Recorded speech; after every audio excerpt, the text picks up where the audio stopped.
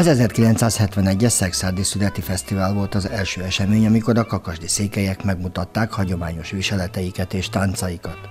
71-ben gondolta úgy a, a Sebesne Ádám bácsi fia, a Sebestén Tibi, hogy ugye ő benne volt ebbe a KISZ mozgalomba, azt gondolta, hogy milyen jó lenne, hogy ugye itt a, a, összeszedi a fiatalokat, a falusi fiatalokat, és akkor elmentek egy szüreti felvonulásra Szexádra. Na és akkor ugye előkerültek a szép ruhák, a viseletek, a rokolyák, hogy ők mondják, és úgy mentek be a szüreti fesztiválra, hogy lovas kocsival felpakolták a párnát, tehát úgy pakolták fel a párnát, mint hogyha a mennyasszonynak vinnék a, a jussát. És akkor utána meg már ugye Ádám bácsi elkezdett gondolkodni rajta, hogy kár lenne ezeket a fiatalokat hagyni szétmenni, tehát össze kéne valahogy őket gyűjteni, és 1972 volt az, amikor ők egyesületté alakultak.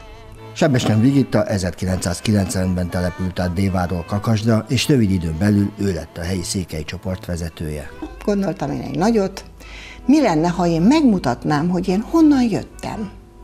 Hogy egyáltalán eh, legyen véleményük rólam, tehát hogy ki vagyok én, én is egy olyan bukovinai székely leszármazott vagyok, mint ők. Na és akkor felvettem a kapcsolatot ugye Cserna keresztúrral, az Dévától 6 km, mert én dévai lány vagyok, és hát leveleztünk, és akkor mondták, hogy nyugodtan mehetek, mert az én nagymamám Cserna keresztúri, meg az öcsém is oda nősült.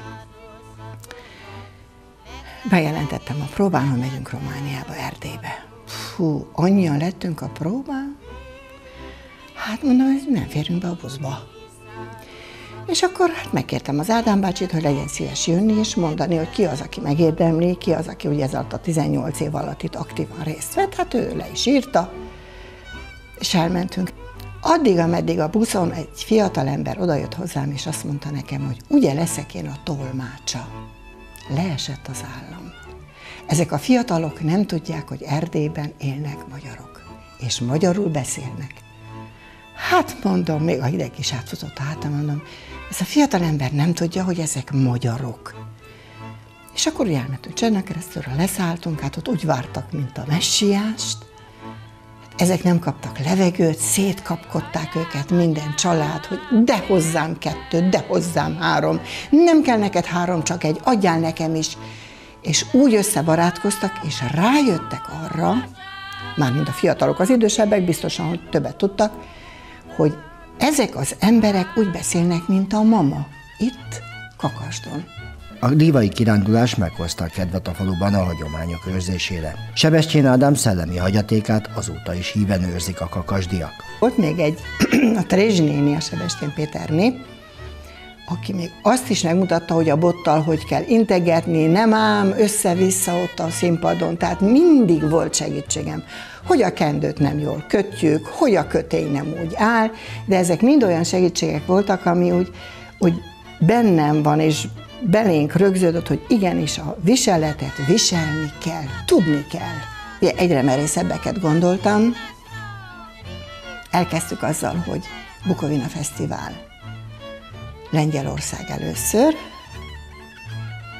nem is Románia először, és mikor kimentünk Romániába, elvittem őket Bukovinába. És ugye hát az idősebb korosztály, aki, ugye ez a Trizsinéni, aki ugye ott született.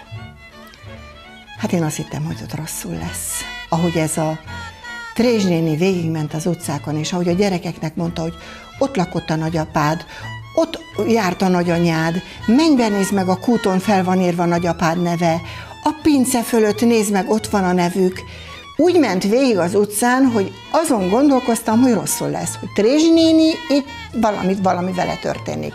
Akkor lementünk a Szucsávára, ott fürödtek, mint a kacsák.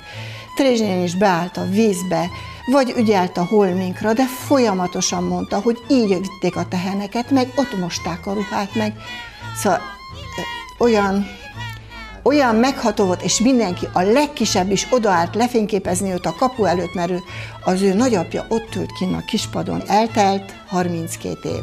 Most ezek a fiatalok, akik akkor velem voltak, ezek már anyukák, apukák. És és hozzák vissza a csemetét.